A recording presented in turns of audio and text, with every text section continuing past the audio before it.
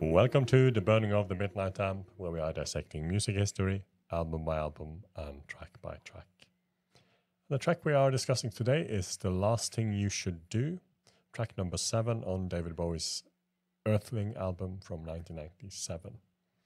It's a track written by David Bowie, Reeves Gabrels, and Mark Plati. And we will, as usual, start by listening to it and then we'll discuss it afterwards.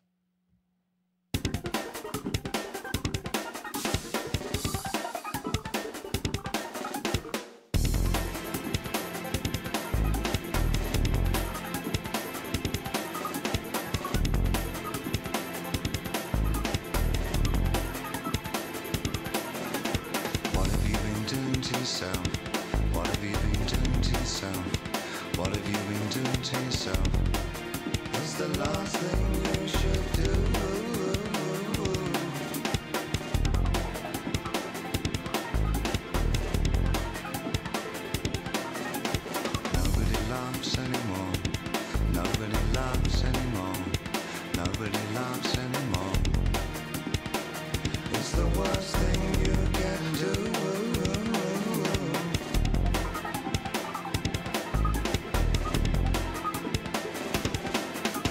Save the last dance for me. Catch the last bus with me. Give the last kiss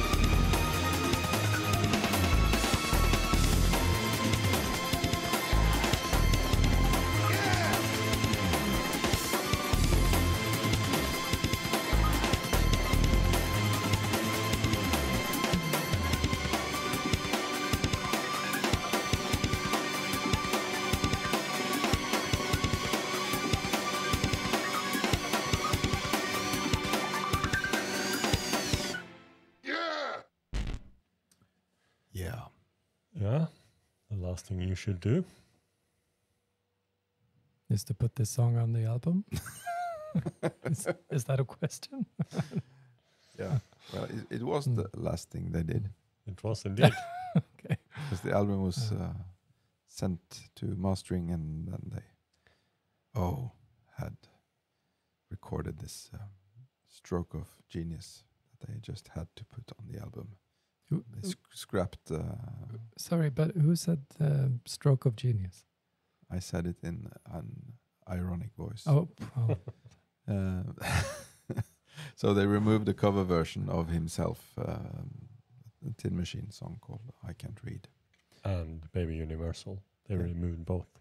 They removed both. Okay, Yeah. so Both of them. Uh, yeah, Two Tin Machine songs had been recorded. Uh, the album had been sent to mastering, and this was the very last session for Earthling in November 1996. And they had uh, lots of uh, bits and pieces that they put together to this uh, song, that Mm. basically leftover scraps. and uh, it was intended to be a B side uh, after it was written. So, very quickly, it was all done in a day. Bowie wrote the lyrics, recorded it in about 20 minutes. Yeah, the next day, Bowie came into the studio and had uh, changed his mind to plot his dismay because he really wanted I Can't Read on on uh, on the album, the new recorded version. Mm. Bowie argued it would make the album more cohesive. And according to Gabrels, it was him who pressed to get the song to replace the two Tin Machine songs. Uh, Bowie agreed with him and uh, argued that it turned Earthling into a cohesive nine song statement instead of a 10 song pastiche. yeah. Well, we can Mm. discuss if this was the Mm. right uh, decision, um, but uh, I mean, what do you think about the song? it's uh, well, you said it was meant for a B side, um, and uh, yeah, it it sounds maybe like a B, B side. Uh, no, it, it's a. It, I think it's a good track, but it should stop after two and a half minutes or so. But it, it just goes on and on until almost five minutes. Um, because a great opening, and uh, I like the vocals. Um, the lyrics are very short but interesting, uh, and the great power in the chorus.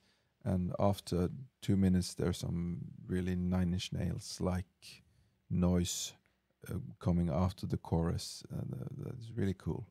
Um, but after that, you, it, you know, they just extend it and extend it and put all their their scraps upon it, or Mm. I don't know what it uh, how it came about, but I think it's at least uh, fifty percent too long.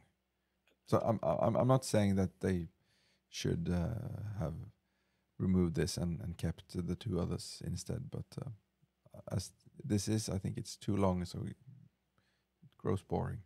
I don't necessarily think it is too long, uh, but it, it's just not a very good song, I would say. yeah. I also say the same. Uh, It's a B side at best. Mm. and yeah every time i i look at that title i'm ju- what song is that? Because i never remember it until i i hear the to me slightly annoying vocal line that bowie bowie has in here. Uh, um yeah it's definitely something they could have left off. I don't know what the nine inch nails thing there is also some kind of synth arpeggiated stuff in there that seems like it's uh, chopped up Kraftwerk kind of things. Uh, it's a bit interesting, Mm. but all in all, it's uh, gives me another this kind of just fatigue. I just want to get out of this. Yeah. No, Mm. the, the, the verses aren't particularly interesting. It doesn't really have a chorus, at least not um, Mm. with vocals, except for the yeah. It comes very aggressive guitar. Uh, probably, yeah, it can be a chorus. yeah. probably uh, one of Bowie's most aggressive uh, musical parts. Might be if, in in terms of that type of aggressive guitar playing. It's very industrial, and Mm. maybe that's why I thought about Nine Inch Nails in the Yeah. you get Mm. this on on top of that. But it doesn't come back the last time where you sort of expect it to come back. Then it's just quiets down. It's synth.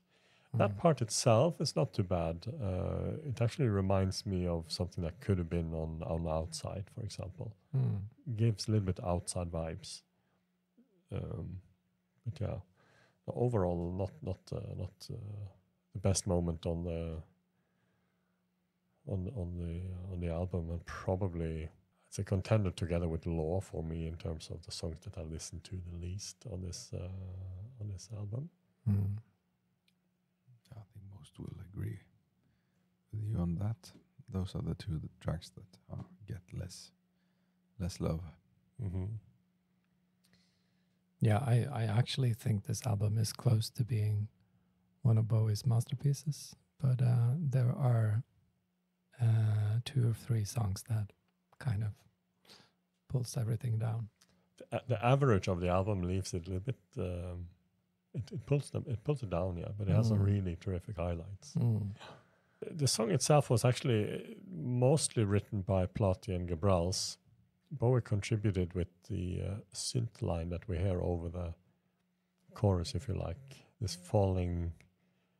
It, it sounds very displaced. It, sounds like it doesn't belong there, but it makes it quite interesting. This kind, Mm. yeah, Mm. humorous falling falling synth.